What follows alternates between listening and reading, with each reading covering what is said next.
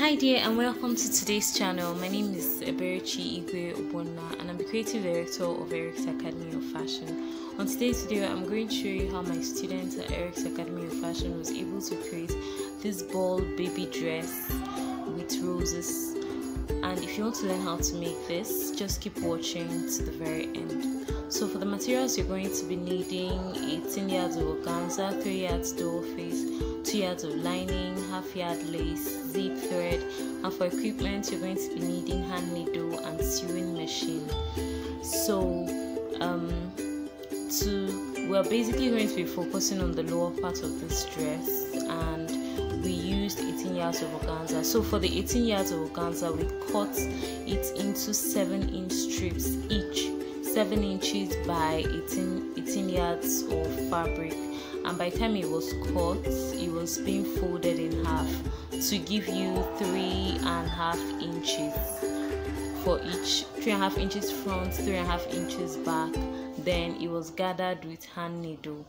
So there was um, a flay fabric cut. The doll face was cut into a 360 degree flay i'm going to add the link to making the 360 degree flay in this video. I'm going to add the link to making the 360 in this video. So when you cut the 360 degree flay we marked circles round like circles round the areas we wanted to have circles.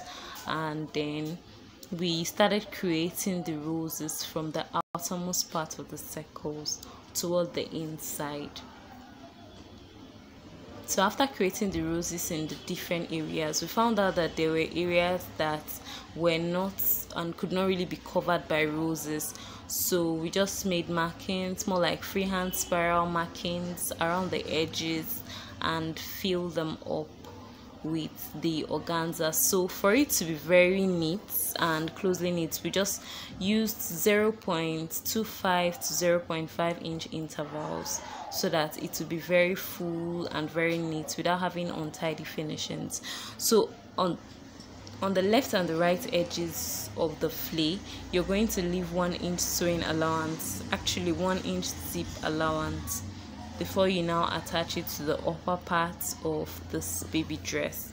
So for the upper part of the baby dress i'm going to add the link to making the pattern in the description box below. So this is actually how the flare looks before we eventually attach it to the upper part. Note that before you get to this point that by before you get to this point you have to leave half at least half inch or one inch on the upper edge of the on the upper edge of the flay so that you'd comfortably attach it to the upper part of the baby dress.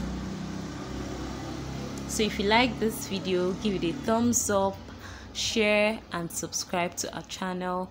I'm going to be adding more live videos from our classroom in this channel. Thanks for watching. See you in the next training video